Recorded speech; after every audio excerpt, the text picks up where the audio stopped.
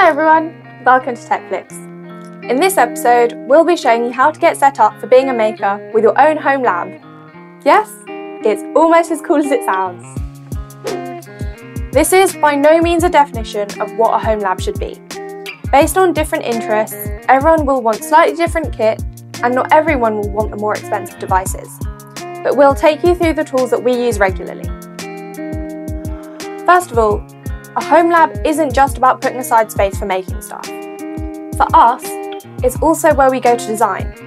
This means it has to be a friendly space, good for both thinking and working. To help spark our creativity, we have lots of inspiring little bits around, like previous projects or stuff that we've recently bought and want to incorporate into new projects. Don't be fooled. This space might get pretty messy, but it's prime inspirational material. Once we've had an idea, we want to write it down pretty quick before it slips away. We like to have writing stuff to hand, not just pens and paper, also a big old whiteboard. There's nothing worse than having a great idea and then forgetting it because you were scrabbling around trying to find a pen. Which brings me to the single most important thing in a home lab, or any lab for that matter, knowing where everything is.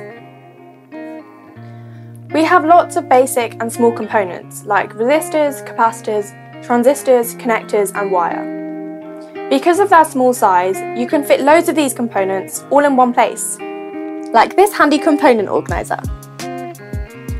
Having labels on the drawers of your organiser and not cross-contaminating makes a world of difference when you're trying to make something.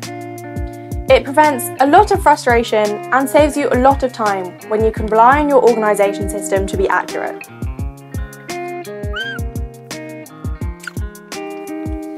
This is our lovely tool wall.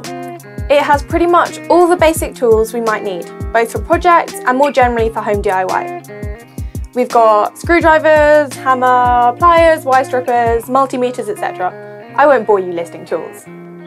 We do also have toolboxes, but we prefer having stuff out where we can see it.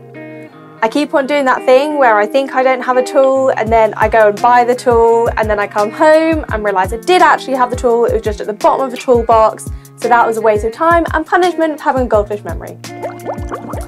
Anyway, it's also nice when you're working to be able to have all your tools out where you can see them and easily get to them, while simultaneously having them pretty neatly. If I didn't have this, I'd probably have all my tools out on the floor, which isn't so neat or organised and a little bit stressful. Most of our building is done on the workbench. Ta-da! Yes, I'm aware it's just a table, but we call it a workbench to make ourselves feel fancy. Generally, the first stage of our prototyping work will be on a breadboard, like this one. We also have a handy multimeter for testing stuff quickly. This is probably one of our most used pieces of kit and is really important for us to have a good one. This one also has the added bonus of being magnetic, so it sticks straight onto our tool wall, which I discovered with joy the first time we got it. The simple things. If there is one thing that you do by yourself, get yourself an ESD mat for your workbench. They basically drain static charge from anything you put on them. There is nothing more heartbreaking than destroying a new component you've just bought because you were rubbing your feet on the carpet as you walked down the stairs.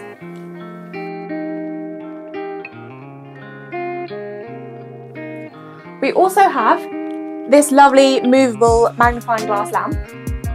This isn't a necessity for all labs, but a good side light is a must have for us. And it's great when I'm leaning over the table trying to do some work and the ceiling light just casts the fat shadow of my head on what I'm trying to do. This gets around that. When we take the project off the breadboard and onto perf board, we need a soldering iron. This is pretty key to all our projects. Soldering irons aren't just plug and play, and you need to be super careful when using them to avoid those nasty fumes. Make sure you get yourself a fume extractor. As a minimum, you should have an extractor fan, like this one, and we're waiting for our giant tubing to arrive, which we'll attach to this and shove out of the window. It might seem annoying, particularly in the middle of winter when it's snowing and minus two outside, but future you thanks you for being conscientious. Right, enough of the safety lecture. A soldering iron which can vary temperature is really important for working with different devices. For the small connections on LED strips made of thin metal, you want to use a low temperature, otherwise you can burn the connections out. It's really sad when this happens. But you also want a soldering iron which can get really hot for if you're working with thick wires. We also now have an amazing lab bench power supply. It allows you to control voltage and current, meaning you can test your projects but also do things like charge batteries. Before we got this little beauty, we had a power supply in a cute little Words Original box, which we made ourselves following GreatScott's tutorial. Thanks GreatScott, you've taught us so much. We also have some solar panels outside charging up a super massive battery. Hopefully, we'll be able to upgrade it soon, as well as this pretty shocking charge controller. Look out for our solar panels in one of our new projects coming soon. We're making an electric skateboard. Some of our projects require us to build a case. This usually starts with a lot of squabbling around a whiteboard or over a piece of paper. Once we're done with the infighting and have settled on a design, we get on with some very good accurate measuring.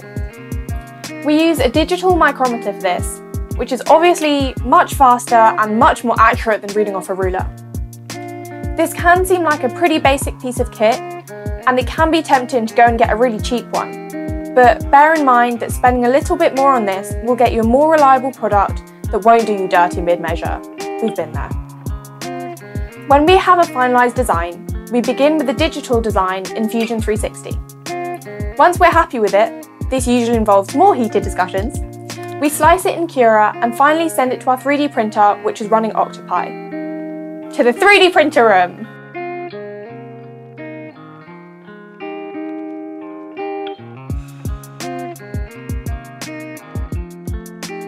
3D printing is super fun and really rewarding. We use our 3D printer a lot, so we have this entire little room basically set up as a shrine to it. Really, really small shrine. There's also a lot of filament in here. We bought this TV unit really cheaply secondhand and figured that all the nooks and crannies would be ideal for project storage. On top, in really orderly piles, we have filament boxes which we've repurposed as project boxes. This helps us keep everything in one place, so if we ever break a project mid-make, we can come back to it in future without having to turn the entire lab upside down looking for some tiny component that we've misplaced. We've got all our filament hanging from 3D printed hangers on this nice rail above the printer. We used to have it all stacked, but this turned into an absolute leaning tower of filament nightmare. We've also got some funky lighting, and it makes it feel like a bit of a tech cave in here. So that's a lot of hardware. Now onto the software, which is pretty crucial to making all this work. This is an area we're really passionate about and interested in, so you'll hopefully see more software development in our future projects. When making new projects, we always use Git for version control, and we also back up our stuff to the cloud. We've learnt the importance of doing this the hard way. Mistakes happened, the pain still stays with us. We have our own home development pipeline, which is hosted on a Raspberry Pi. Hopefully we'll be able to explain this in more depth in another episode. And this is great because it means that we can use industry standard best practices for our projects. To name a few, we host our own Git home repository. We build projects with Docker. We use Drone for continuous integration and deployment of our software we constantly monitor the services we run so we know if something fails. We automate backup of everything and have scripts, which means if something goes wrong, we can start again using the backed up version. Our home development pipeline means we can do things like update all our CCTV cameras around the house with a simple git push. So that's our home lab. It's always a work in progress and as you'd expect, it looks very different when we're mid-project. We should probably impart some wisdom from our journey to creating our own little home lab.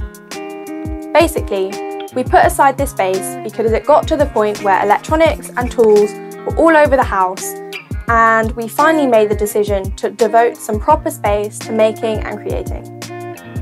It's easy when starting out to buy cheap tools because, well, they're cheap.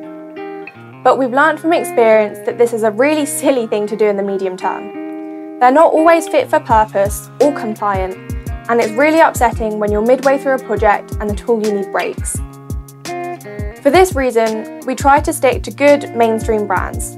We found that RND's products meet industry quality and tick all those compliance boxes without costing an arm and a leg, which is ideal. We hope you enjoyed nosing around our little lab. Hopefully you got some inspiration for your own, or maybe you can tell us what we could change for the better. Thanks for watching.